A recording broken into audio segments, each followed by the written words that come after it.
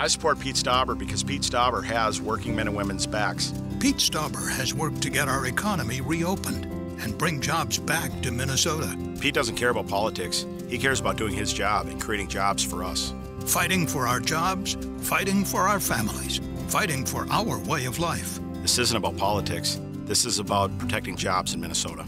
Pete Stauber's there for us when the rubber meets the road. Pete Stauber for Congress.